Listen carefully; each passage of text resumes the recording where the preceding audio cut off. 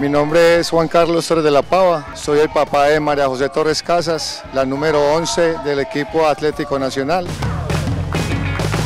Me siento muy orgulloso de estar participando por primera vez en la Pony y muy orgulloso de mi hija porque hoy está recogiendo unos frutos de tanto, tanto trabajo que hemos tenido con ella.